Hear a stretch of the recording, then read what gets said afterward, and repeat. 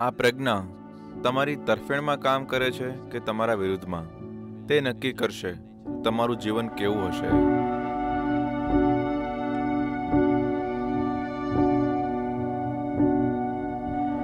હું તમને એક સરળ અભ્યાસ શીખવી શકું છું. બસ આ કરો. જીવન નાટકીય રીતે બદલાઈ જશે. એવી પ્રજ્ઞા કે જે તમે ક્યારેય વિચાર્યું નથી કે શક્ય છે, તે તમારી બની જશે.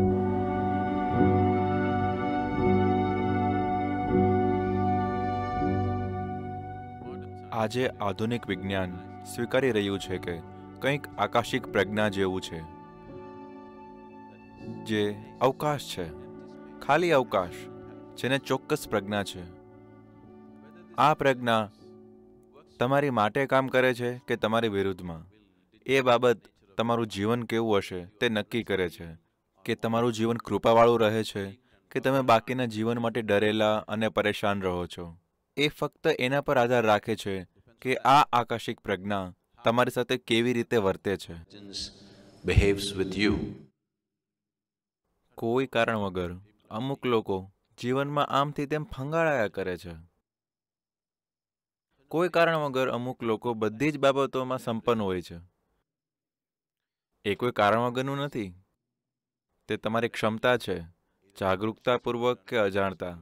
એ વિશાળ પ્રજ્ઞા પાસેથી સહકાર મેળવવાની તમારી ક્ષમતા છે, જે કાર્યરત છે.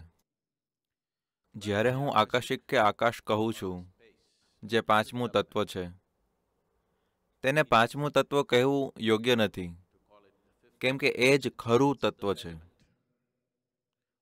બાકીના ચાર તેના પરની રમત છે. મૂળભૂત તત્વ આકાશ અથવા અવકાશ છે. આકાશ ઓર ધ space. અન્ય ચારની રમત આ તત્વના આધારે છે. હવે આપણે આ ગોળાકાર ગ્રહ પર બેઠા છીએ. તમે જાણો છો તે ફરે છે. પૃથ્વી ફરે છે, સૌરમંડળ, બધું. હું ઈચ્છું છું કે તમે જાણો કે આ બધું અવકાશના લીધે જ તેની જગ્યા પર સ્થિર છે. તમે તમારા કારણે તમારી જગ્યા પર નથી બેસી શક્યા.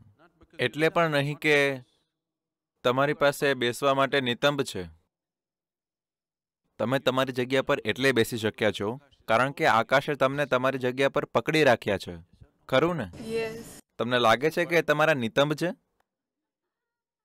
એ તમારા નિતંબ નથી?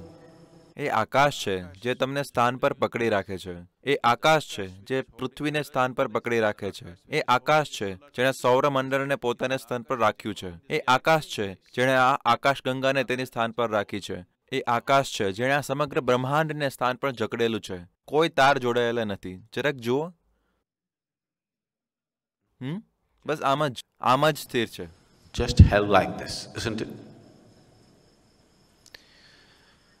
Now, this આકાશ હવે આ આકાશ જો તમે તેને તમારા સહકારમાં કેવી રીતે લાવવું તે જાણી લો.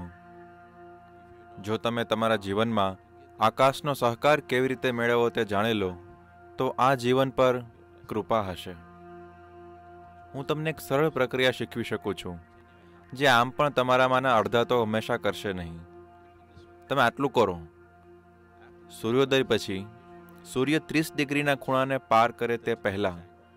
ત્રીસ ડિગ્રીનો અર્થ કંઈક આવું છે.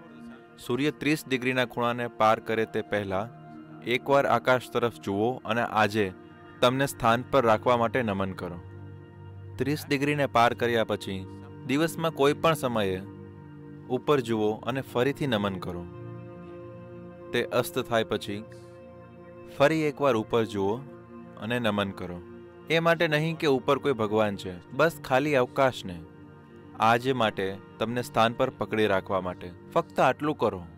જીવન નાટ્યાત્મક રીતે બદલાઈ જશે. તમે જોયું છે, તેંડુલકર પણ ઉપર જુએ છે.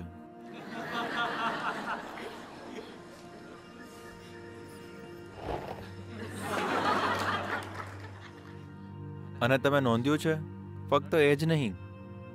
પ્રાચીન કાળથી જ્યારે માણસે યુદ્ધોમાં, સફળતાની મહાન ક્ષણોમાં કંઈક પ્રાપ્ત કર્યું, ત્યારે અજાણતા જ એક અનુભૂતિ થાય છે. ઠીક છે, તેમાંથી કેટલાક ઉપરવાળાની શોધમાં હોઈ શકે. પરંતુ તેમાંના મોટા ભાગના તેઓ શિખરની ચોટી પર ચડી શક્યા. Mount Everest. આ કુદરતી રીતે આવશે. શું તમે જોયું છે? પછી એ ભાવસ્પંદના હોય કે સમયમાં કંઈક, જો તમે એક ટોચનો અનુભવ કર્યો હોય. તમે આ નોંધ્યું છે? તમારું શરીર? આભારની લાગણીમાં, શારીરિક રીતે તમારી જાણ વગર એ આમ બની જાય છે. કેમ કે ક્યાંક એ જાણ છે, એ પ્રજ્ઞા છે, અહીંયા, જે એ ઓળખે છે. તમે જાગરૂકતાપૂર્વક દિવસમાં ત્રણ વખત આ કરો. જો તમને આમાંથી સહકાર મળશે,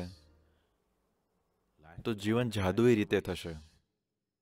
એવી પ્રજ્ઞા જે તમે ક્યારેય વિચાર્યું પણ નહીં હોય, તે તમારી બની જશે. કેમ કે તમારી સમજ અને પકડ બહારની જે પ્રજ્ઞા છે, તે અત્યારે કાર્યરત છે. છે ને? શું તે કાર્યરત નથી? એ તે પ્રજ્ઞા છે જે સમગ્ર બ્રહ્માંડને એક સાથે જકડી રાખે છે. આ એ પ્રજ્ઞા છે જે આખી સૃષ્ટિનો ગર્ભ છે. આ પ્રજ્ઞાના ગર્ભમાંથી આખી સૃષ્ટિનું સર્જન થયું છે. અને તમને વંચિત નથી રખાયા. રસ્તો બંધ નથી. બસ એ છે કે તમે એ દિશામાં જોયો જ નથી. બસ એ છે કે તમે કોણ છો એ નાના એવા સ્વભાવમાં તમે રત છો. તમારું શરીર, તમારા વિચારો, તમારી લાગણીઓ, તમારા હોર્મોન્સ તમને એટલા વ્યસ્ત રાખે છે કે એની આગળ કોઈ વસ્તુ પર ધ્યાન દેવાનો ખ્યાલ પણ નથી આવતો. તેની પારની કોઈ વસ્તુ પર ધ્યાન દેવાનો ખ્યાલ નથી આવતો, કેમ કે આ નાની વસ્તુઓ તમારા પર સવાર થઈ ગઈ છે. આ છે, જેને આપણે માયા તરીકે ઓળખીએ છીએ. આ માયા છે. એવું નથી કે સૃષ્ટિનું અસ્તિત્વ નથી, તે માયા નથી, બસ આ માયા છે. જ્યારે કંઈક અસાધારણ, અદ્ભુત અને વિશાળ સ્તરે બની રહ્યું છે.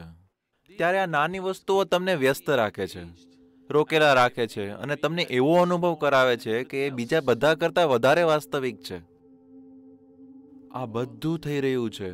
બ્રહ્માંડમાં જે કેટલી બધી અદ્ભુત વસ્તુઓ થઈ રહી છે. પૂરેપૂરા ચમત્કારિક અને શાનદાર રીતે થઈ રહી છે.